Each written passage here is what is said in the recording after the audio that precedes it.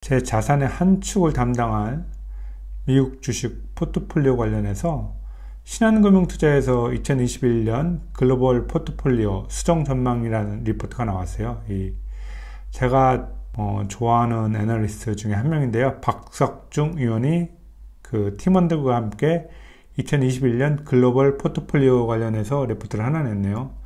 이 박석중 위원은 이 아주 시장을 보는 눈이 좋긴 한데 이 보고서가 너무 방대한 분량이 많아요.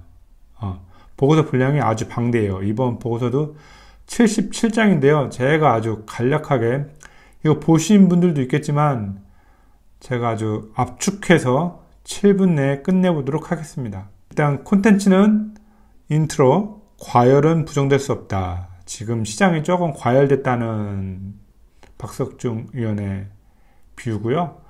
그건 뭐 누구도 부정할 수 없죠. 2013년도 코로나 사태 이후 계속 지금 풍부한 유동성 그리고 저금리를 바탕으로 해서 미국뿐 아니라 한국 주식이 많이 올랐죠. 그래서 지금은 어느 정도 과열된 구간이라고 지금 보고 있는 것 같고요.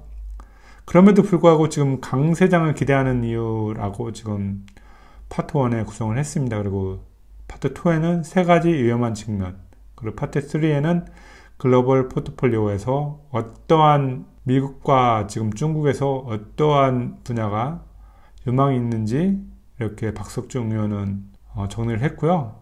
거두절미하고 그러면 신한금융투자 박석중 위원이 보는 미국 주식과 중국 주식의 유망 섹터 그리고 ETF를 바로 직접 보도록 하겠습니다. 첫 번째 반도체고요. 반도체는 구조적 성장이 갖는 신뢰라고 해서 이렇게 보고 있습니다. 기업명으로는 TSMC, 엔비디아, ASML, 마이크론, NXP 반도체 이렇게 보고 있고요. 두 번째는 신재생에너지, 새로운 패러다임의 시작.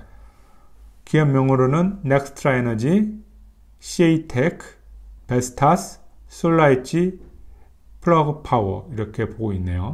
세 번째는 5G 성장 모멘텀 재개라는 이렇게 봤고요. 수혜 기업으로는 애플, 퀄컴, 에릭슨. 네 번째 테마로는 클라우드 수요는 20년, 매출은 21년 이렇게 돼서 올해부터 매출이 좀 크게 간다고 보고 있고요. 수혜 기업으로는 마이크로소프트, 인투이트, 트윌리오 이렇게 세 개 업체를 보고 있네요. 다섯 번째로는 인공지능 기업이 이끌고 정부가 민다. 그래서 글로벌 AI 시장 매출 및 투자 전망이 아주 2024년도까지 매출과 투자가 아주 어, 상승을 할 거라고 지금 예측을 하고 있고요. 수혜 기업으로는 알파벳, 세일즈포스, 바이두 이렇게 지금 보고 있네요. 여섯 번째 섹터로는 코로나 이후에 새로운 사치에 갖고서 명품 업종을 골랐고요. 2021년 올해를 매출 회복의 부각이라고 지금 보고 있습니다. 이에 따른 수혜 기업은 LVMH, 그 다음에 케링, 그 다음에 파페치. 제가 지금 명품에 대해서 잘 몰라서 LVMH, 루이비통만 알고 나머지들은 케링, 파페치는 잘 모르겠어요. 이거 관심 있는 분들은 이 리포트를 좀 자세히 보시면 될 것 같아요. 일곱 번째로는 그동안 지금 억눌린 수요죠. 여행 레저. 2020년 우리나라도 그렇고 세계 여러 나라 lockdown을 하는 바람에 여행을 많이 못 갔죠. 그래서 바닥을 지나다라는 그 제목으로 뽑았고요. 코로나 이전 수준은 2023년에 회복이 가능하지만 올해부터 이렇게 좀 많이 좋아질 거라고 예상을 했네요. 그래서 수혜 기업으로는 Expedia, 춘추항공, Wyndham Hotels & Resorts. 이 박석중 위원이 지금 중국에서 유학을 해서 이쪽 중국 기업도 많이 지금 추천을 하고 있네요. 여덟 번째는 차이나 그린. 어, 중국의 이 뭐 그린 에너지죠. 빅사이클 도래해서 중국의 에너지 수급 의존도가 지속 확대될 거다. 이렇게 전망을 하면서 수혜 기업으로는 윤기실리콘, 금풍과기, 동방케이블, 아홉 번째로는 차이나테크 이렇게 테마를 정했고요. 더욱 강력해진 국산화 모멘텀 해가지고 중국 반도체, 팹리스, 파운드리 점유율이 중국 국산화율이 뭐 한 16%, 팹리스도 한 16%, 파운드리는 한 6%, 12인치 파운드리는 한 3% 정도 이렇게 예상을 했네요.